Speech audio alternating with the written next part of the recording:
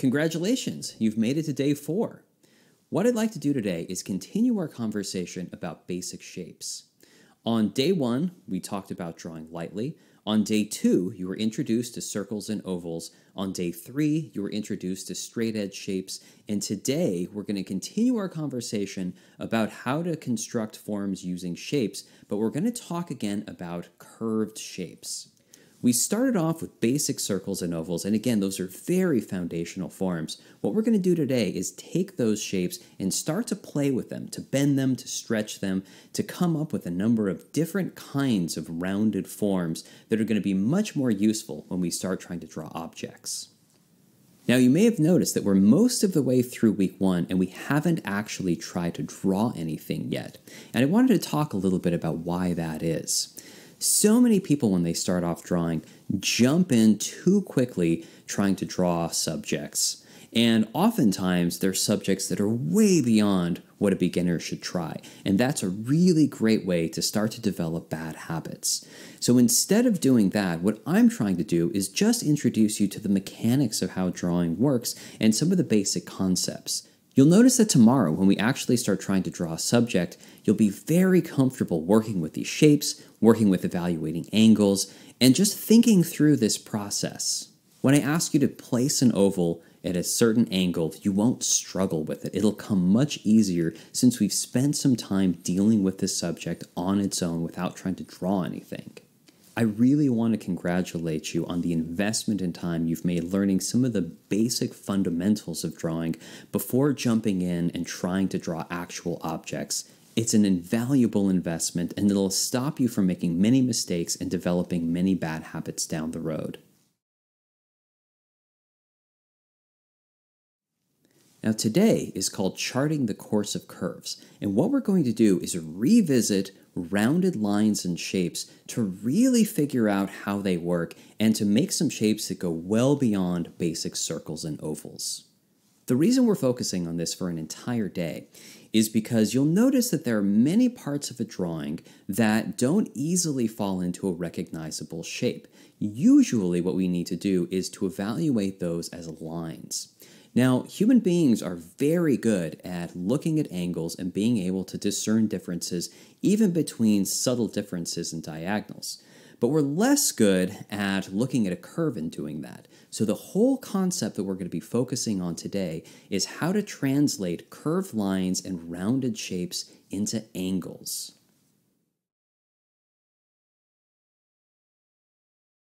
There are many different ways we can use straight lines and angles to evaluate curved lines and rounded shapes.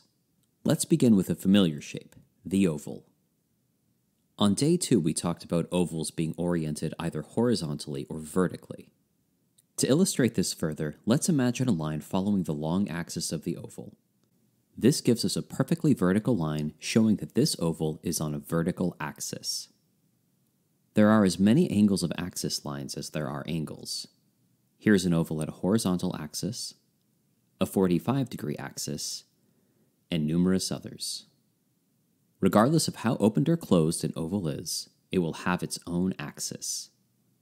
It's important to note that the axis line also acts as a line of symmetry dividing the oval into two halves. Each of these halves should mirror each other. While you're drawing your ovals, this is an important thing to keep in mind. If you find that, after you draw an axis line in your ovals, that the two sides are different, try and correct for this in your practice. In this piece by Eva Gonzalez, we can clearly see one oval and one partial oval at a horizontal axis. When ovals are used to indicate a circle going into perspective, as is the case in the circular opening of a bowl, they are called ellipses. We'll talk more about ellipses in week 4 of the Art and Science of Drawing. In this piece by Daumier, we can see a number of ovals and partial ovals on slanted axes. Once again, we can see that these shapes are not drawn perfectly, but they do a wonderful job at giving us the idea.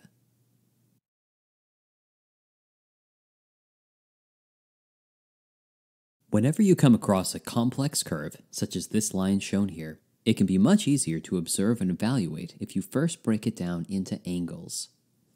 There are two main ways in which this can be done. First, let's take a look at where the line begins and where it ends. Apart from the curved line connecting them, try and visualize the straight angle that connects both of these points.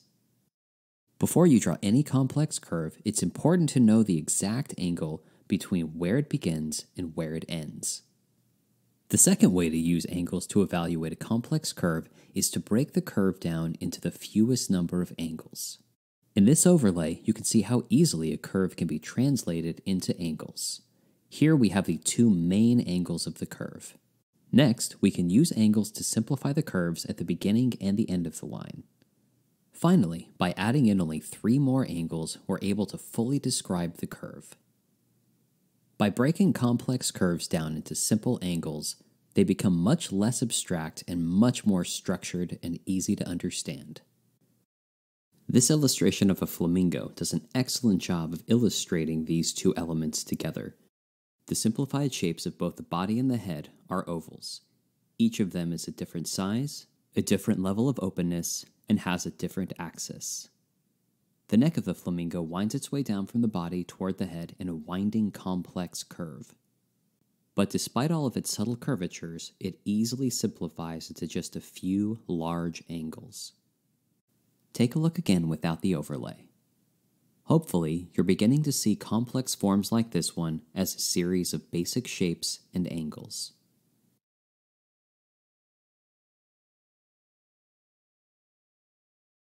Often, when students see a complex curve such as this one, they'll draw a loose approximation, often stating that they don't think curves are as specific as angles. In actuality, curves can be just as precise as angles. The other thing I often see that I would like you to avoid is drawing by using these sketchy staccato lines. Think about line quality in the same way you think of tone of voice. We respond better to confident and dynamic mark making. Sketchy lines tend to communicate a timidness or nervousness. I'm not in the habit of pointing out things I don't want you to do, but I see this often enough in the studio that I think it's important that I call it out specifically. Here's a much better way to properly analyze and draw a complex curve. The first thing I'm going to do is figure out where the line should start and where the line should stop. Again, there is a specific distance and directional relationship between the start and stop of any curved line. Once you're confident about the placement of the beginning and end of the line, you can start analyzing the curve. Here you'll see me making a first attempt at the direction the line is moving at its starting point and stopping point. Again, note that I'm drawing an angle, not a curve yet. As I search for the best placement and angle of the next part of the line, you'll see me constantly referring back to the point I've already drawn. I've now translated each end of the curve into two angles. Notice that the top section of the line I'm copying is a bit more curved than the bottom section. To account for this more extreme bowing of the top curve of the line, I'm going to add a third angle. Now I'll try for the larger angles in the center of the curve. Note that this is a very different method than just starting at the beginning of the curve and following it all the way down until I get to the end. By addressing both ends simultaneously, I'm able to get a much better sense of how the curve is moving. As I continue translating the curve into angles, notice how many times I evaluate and change things. Remember, drawing is a process that contains many iterations. You should always feel comfortable re-evaluating what you've drawn and making any necessary changes. It's important to note that there is no single solution to translating any curve into angles. We could reduce the number of angles or increase them, but the idea here is that it provides a structured way for you to think about curves which can otherwise be a little wily and hard to manage. Once I'm satisfied that I found a solution, now I can go over and darken the line. The metaphor I'm using here is that the angles provide a scaffolding for the curved roller coaster track to go over later.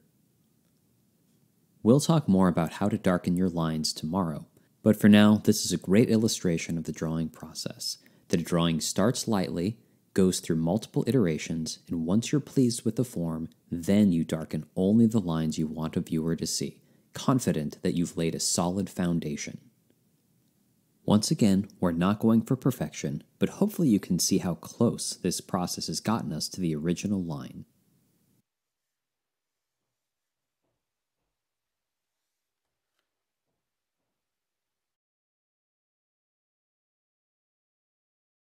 Eggs are some of my very favorite shapes to draw, and they're essential for you to learn if you want to do any figure drawing or animal drawing.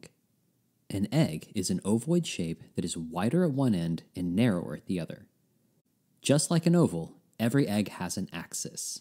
Eggs come in many shapes and sizes and are among some of the most versatile organic forms.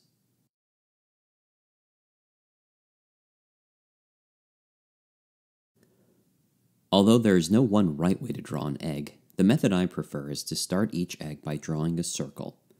Next, I will rock my hand back and forth across the top, once again pantomiming to see what kind of line is going to come out of it, and once I'm satisfied, tip the pencil down. Just like you practice with ovals, you should get used to drawing eggs at many different angles.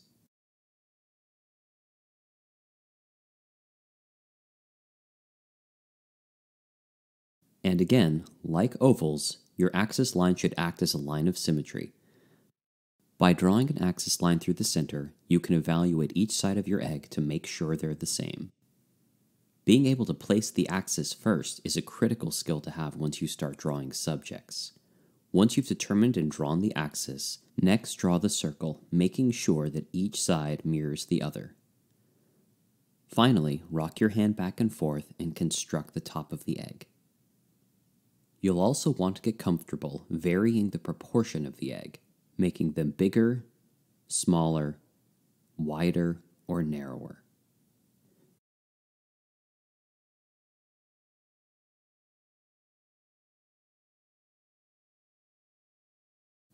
You might find it easier to draw the circle for the egg first and add the axis line afterwards.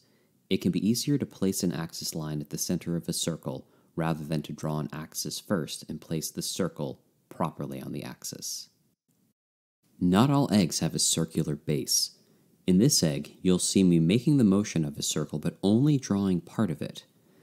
Next, I'll rock my hand back and forth to construct an egg that is much flatter and wider at one end. Part of your practice today is going to be to experiment drawing different shapes and sizes of eggs. Remember, there's no one right way to draw. It's up to you to experiment and figure out what works best for you.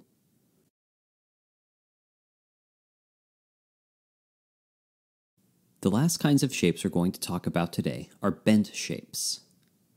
On day two, you learned how to construct shapes using straight lines, like rectangles. What I'm going to demonstrate now is what happens if we bent a rectangle.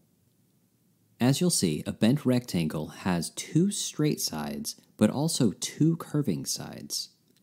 One of the important things to remember while you're constructing these kinds of shapes is to keep your lines fluid. Try not to revert back to any previous ways of drawing you had. Keep drawing from your full arm using large fluid motions. Also on day two, you learned how to construct various different kinds of triangles.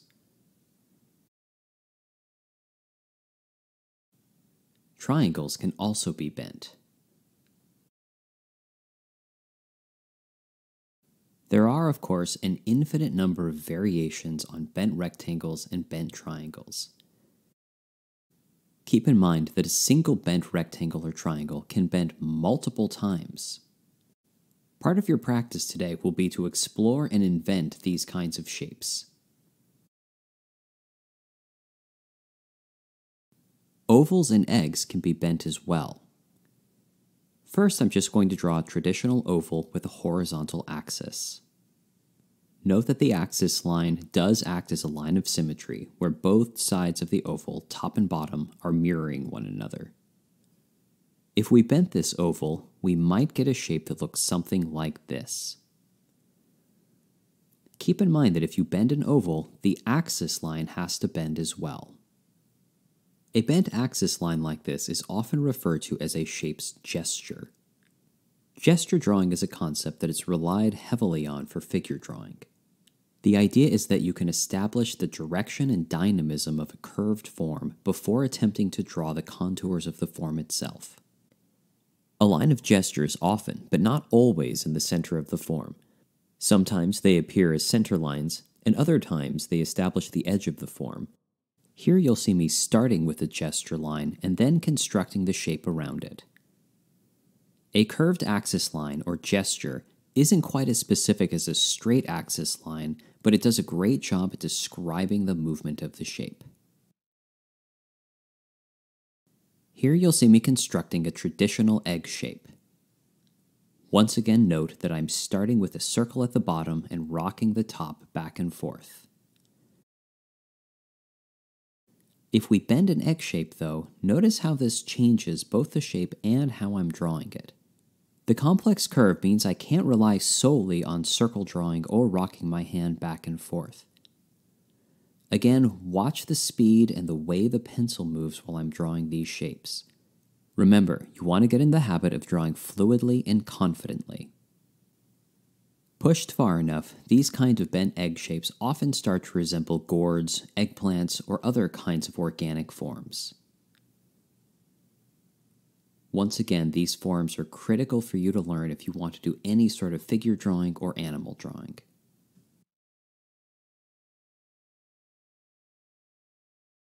Today, your practice is going to consist of three different projects. First, on one side of a sheet of paper, draw a curved line. Don't overthink it, any curved line will do. Right next to it, on the same sheet of paper, try analyzing and drawing this form exactly as you see it by breaking it down into its basic angles. Remember, we're not going for perfection, we're just gaining experience through practice. The more you do projects like these, the better you will get at them. Once you've analyzed and copied at least one curved line, Try the same project with a bending shape such as an oval or an egg. You can use the same strategy of turning curves into angles to draw shape as well. Finally, draw 100 freestyle forms using light, fluid lines. These forms can be anything that we've talked about so far circles, ovals, quadrilaterals, or combinations of shapes. A great way to experiment is to start off with a shape like an egg and stretch it, bend it, and distort it in various ways. You can make shapes with both straight lines and curved lines. There are no rules here. The goal is just to get some experience drawing a wide range of different kinds of shapes using light, fluid lines. Now, today is our last day of working with basic shapes. Tomorrow, you're going to learn how to turn these basic shapes into recognizable forms. Now remember, I'm giving you the minimum amount of practice, but if you want to get really good at this, try doubling or tripling the amount you're practicing. The more you're able to practice these concepts and tools, the better you're going to get. I look forward to seeing you on day five, where we're going to put all of these tools and concepts together in order to draw recognizable forms. Have a great time practicing, and I'll see you tomorrow.